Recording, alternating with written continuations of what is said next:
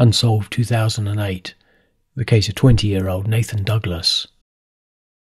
Nathan Douglas was stabbed in the neck in Lebanon Road on the 3rd of November 2008. He had been with friends who were parked up in a silver Renault Megane car in Lebanon Road, but went off to meet someone at 11:30 p.m. However, minutes later he returned having been stabbed in the neck and soon died at the scene. Nathan Douglas had lived in Gloucester Terrace, Peckham, but had been to Wandsworth with friends. Witnesses said that they saw someone running along Cromford Street shortly after the stabbing. The police said that they thought that the silver Renault Megane car had arrived in the area of Cromford Road at about 11:15 p.m.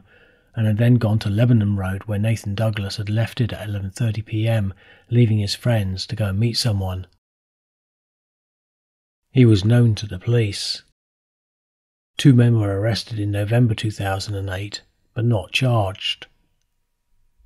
Nothing more is known about what happened when Nathan Douglas left his friends to meet someone, or on what grounds the two men were arrested in November, and his murder remains unsolved to this day.